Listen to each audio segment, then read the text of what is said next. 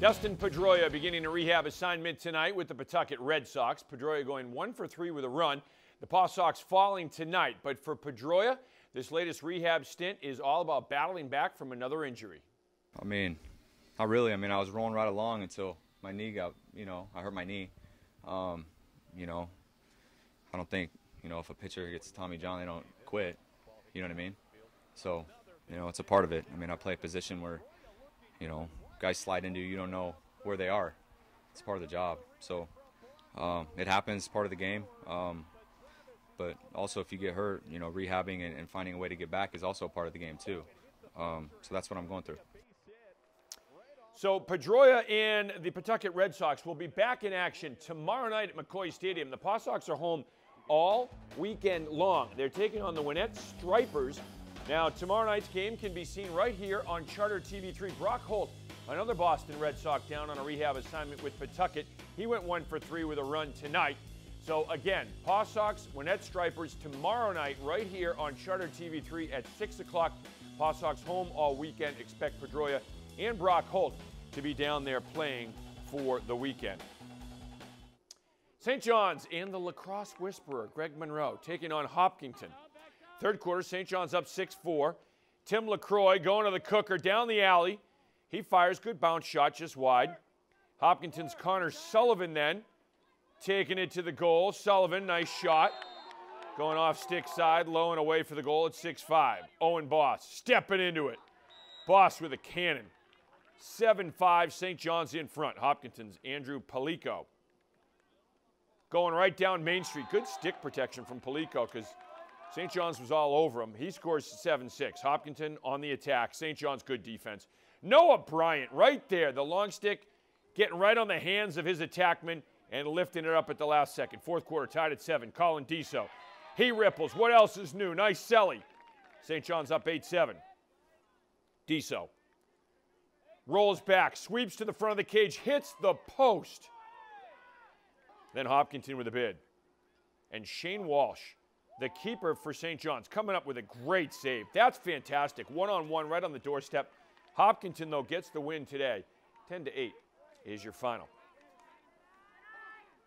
Water soaked field as Worcester Tech taking on Abby Kelley in softball this afternoon. 2 0 Worcester Tech, top of the second. Worcester Tech's Nelia Salinas in the circle and on her game. She strikes out the side. Bottom of the second now, Abby Kelley's Mia Pellegrino reaching back for the strikeout. Runners in scoring position for Ashley Parker. Slow roller to third. Parker, good hustle. She's safe. Haley Doyle scores. Lacey Lee scores. 4 0 Worcester Tech in front. Bottom of the third, 5 0 Worcester Tech now. Bases loaded. Abby Kelley's Raylene Samadi with a shot into right.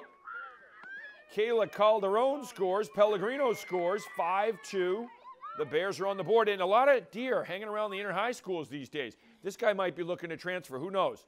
Salinas getting the strikeout to end the inning for the Eagles. Bottom of the third. Sydney LaFlash drives one to left center. Jordan Warner scores 6 2 Worcester Tech. Then the pitch gets away. LaFlash coming home. She scores, makes it 7 to 2, and Worcester Tech goes on to win this one 16 to 4, your final.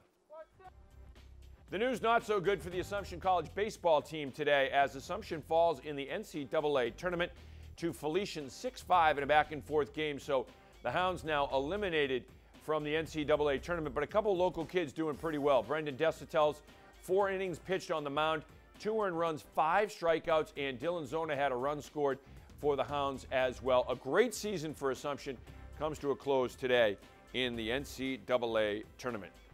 Well, the Massachusetts Pirates have a bye this week. Now, the Pirates still trying to find their rhythm early on in this season, so the bye comes at a good time for the team. Well, for me, I believe it's a good time because we got some injuries. It's going to give us some more time to get some players that that we that Gerard signed to be, you know, instrumental for us to get on the field. Um, but as far as working me, I, I just uh, I never stop going, you know, until the season's over. So for me, it's just giving me an opportunity to, to, to straighten out some things, to iron out some things that I may not have had time to iron out in the in the previous weeks or whatever. Just catching up on some stuff, um, and it gives the guys a chance to go home and see their families and rest a little bit. All right. So again, the Pirates have a bye this week, and then they will be back at it a week from this weekend. And that will do it for sports. It looks like we're gonna have some nice week weather this weekend. I know, finally, huh? Finally, we can get outside and enjoy maybe two days straight without rain Yes, and, and then- cold weather. Yeah, Monday. But although Pamela Gardner was saying Monday could even hit like high 70s. We need that. We do need that. We'll take it. But we'll no take rain. it. Even I know we're gonna get the washout maybe Monday, which stinks, mm. but who knows? Thank God for turf. So at least maybe some lacrosse teams will play on Monday. Oh, absolutely. Yes. Turf is killer. That's right. Well, that's going to do it for us here on Worcester News tonight. For Kevin Shea, I'm Anna Botari. Have a great weekend.